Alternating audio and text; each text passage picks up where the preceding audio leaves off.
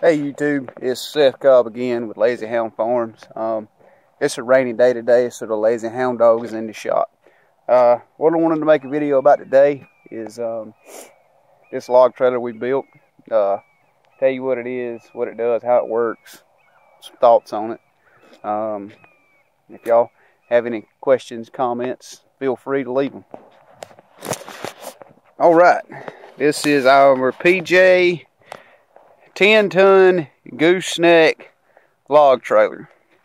It's a uh, PJ manufactured gooseneck trailer, dual tandem axle, electric brakes, oil bath Dexter axles.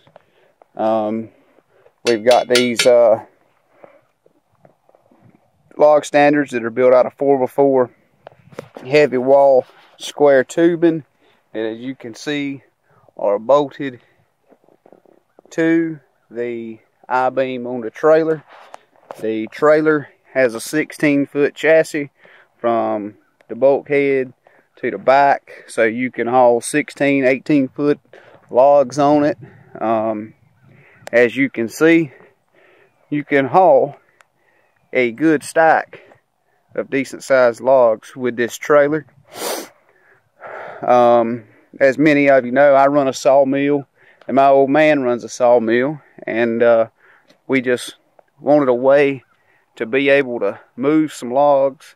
You know, if we're getting logs from a um, logger, tree service, or anything else, that we can move logs around without having to get up with log trucks and have a excavator or a log loader there to load and unload logs. Um, so we got this trailer, built these log standards, and made a log trailer.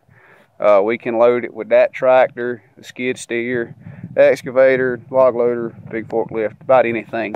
Um, one really nice thing about this trailer is the fact that it's a gooseneck. You can hook to it with a one-ton truck, load it down, pull it down the highway.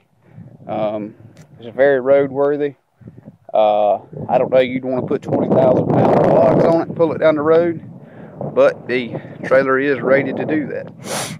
Um, this stack of logs is going to a fellow YouTuber down towards Smithfield, North Carolina. Um, William Rolfe with Gold Shield Enterprises. You'll give him a look. He does a bunch of tree work. Um, but uh, let me know what you think about the trailer. Um, any questions, comments, um, smart aleck remarks about how I hold the camera. Don't really care to hear them, but hey, knock yourself out, I reckon. Um, y'all have a good day, and we'll catch y'all on the next one.